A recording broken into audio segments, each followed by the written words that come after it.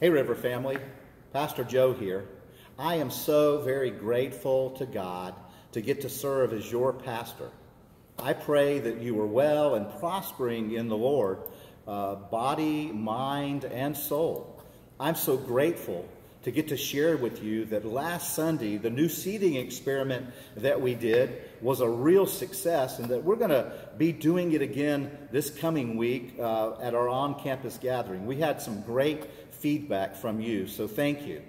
I'm also praying that we'll all continue to, to hear and to heed the call of governing officials about best practices for protecting one another. Now, I know that all of our senses are just kind of COVID exhausted. But we must continue to, to fight the good fight and not grow weary in doing good for what is actually best for others, even when it costs me what I may feel like I want or maybe even feel like I need. I heard the other day that in an effort to coerce a hug from someone, somebody made this statement Don't you know that hugs are healing? Well, my reply to that would be, and hopefully it would be in a spirit of gentleness, sure, I know about those scientific studies that prove hugs help healing. I've used them in sermon illustrations. But I also know that those same scientists are telling us that right now, hugs could kill someone. So let's continue to practice loving one another well by maintaining good COVID preventive health practices when we gather.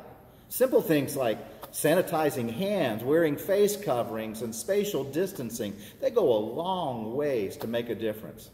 Let me also say to you all, job well done in loving on the File family so very well during these trying times as they were heading out on a new adventure. I know they felt your love. And also, let's continue to remember them uh, as we go to the Lord in prayer. Now, as Pastor Terry has been transitioning out, the elders and I have been seeking uh, the Lord as to how to move forward to provide leadership to those ministries that Pastor Terry gave oversight to.